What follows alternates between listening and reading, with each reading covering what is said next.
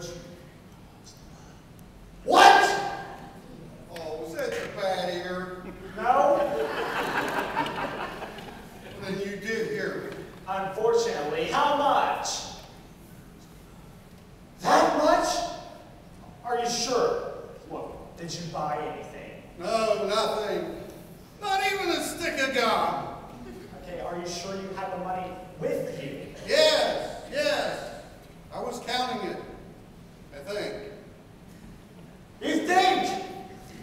I'll find that money?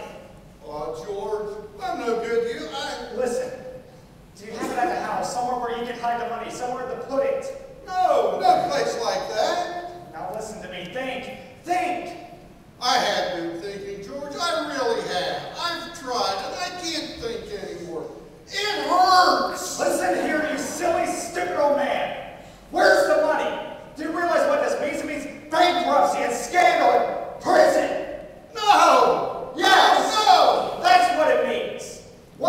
going to jail.